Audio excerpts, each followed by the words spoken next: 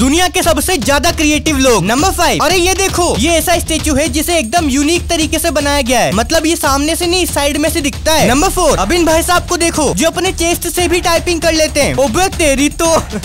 Number three ये देखो, ये बंदा अपनी उंगली हाथों में से निकाल के वापस लगा देता है। भाई, ये तो कुछ भी निकाल के लगा सकता है फिर ऐसे कहीं पे भी। नंबर टू अब ये बंदा यहाँ से कूदता है। और यार, बहुत ज़्यादा ही ऊंचाई से कूद गया भाई ये तो। जाता ही जा रहा है, जाता ही जा रहा है। अबे, ये क्या खतरनाक ट्रांजिशन था बे नंबर वन अब ये भैया क्या शानदार फोटोग्राफी करते हैं भाई। मतलब एकदम डेडिकेशन के साथ। ओए ओए ओए ओए ओए। ये क्या हुआ एकदम से?